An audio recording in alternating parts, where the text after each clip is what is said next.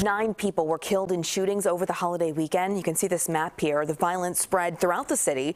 Now, the green markers you see are where people died. 47 more people were injured, including three people under the age of 18.